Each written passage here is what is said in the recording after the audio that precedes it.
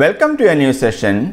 Today we are going to study one of the use of dimensional analysis that is checking the dimensional consistency of equations. We already studied dimensions of physical quantities. It is having many uses. One of such use is to check the dimensional consistency of equations. We know each equation consists of many terms which are separated by equal, plus or minus signs. Like we know that one of the equation of motion is S is equal to ut plus half at square.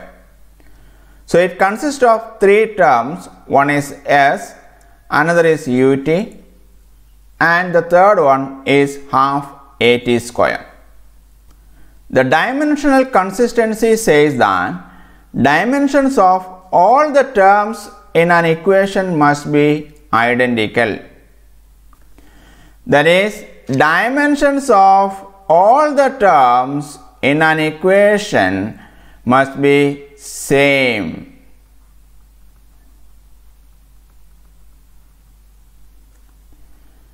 So, this is the dimensional consistency of equations.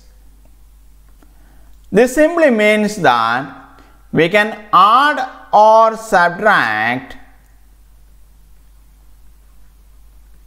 similar physical quantities.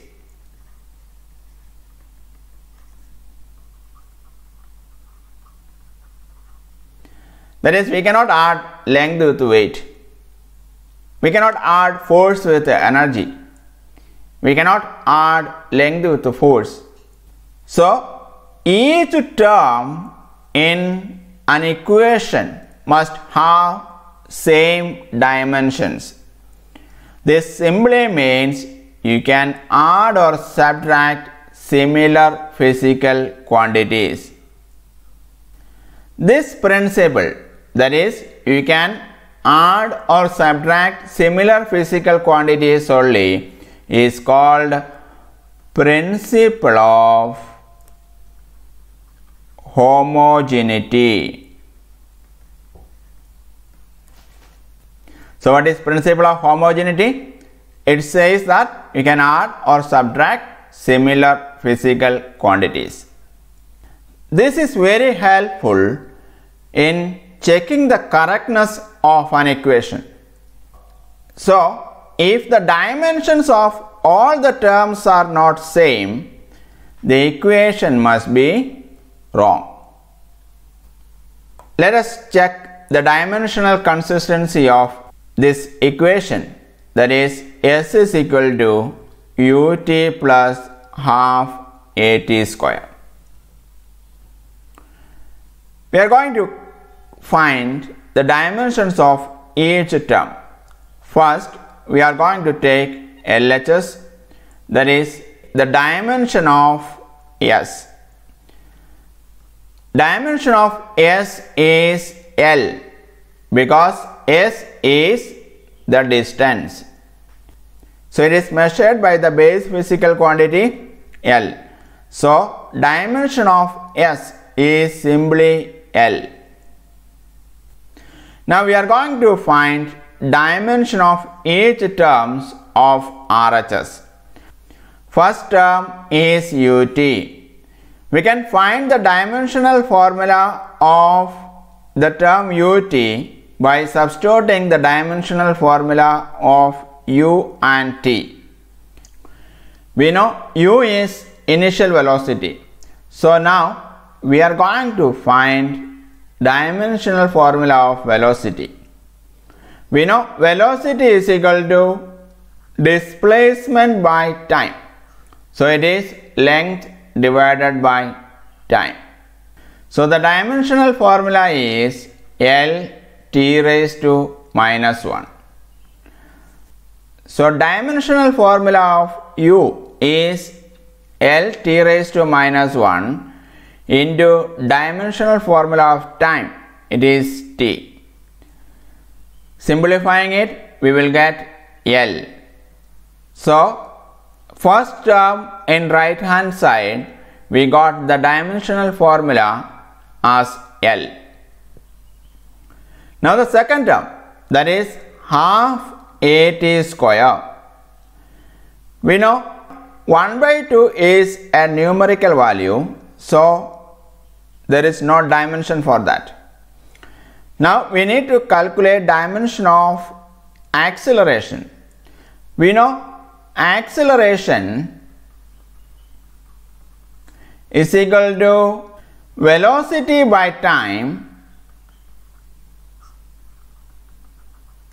that is equal to length divided by time divided by time. Thus, the dimension is L t raised to minus 2. So, dimensional formula of this term is L t raised to minus 2 into t square. Simplifying it, we will get the dimensional formula as L. So here you can see each term in the equation is having a dimensional formula which is L. So this equation that is S is equal to ut plus half at square is dimensionally correct. Remember in mind that if an equation fails this test, that means that equation is dimensionally wrong, then that equation is wrong.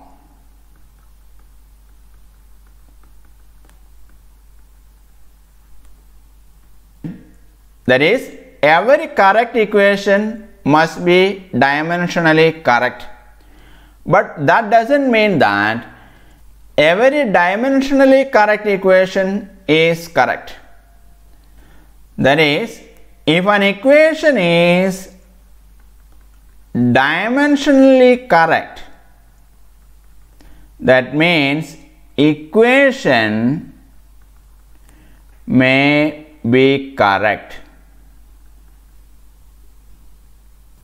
That is, the equation may be wrong also even though it is dimensionally correct. For an example, just look at this equation. This is a dimensionally correct equation and we know this is a correct equation because we already studied it is one of the equations of motion. But now I am writing S is equal to ut plus at square. That is, I just avoid half from this term.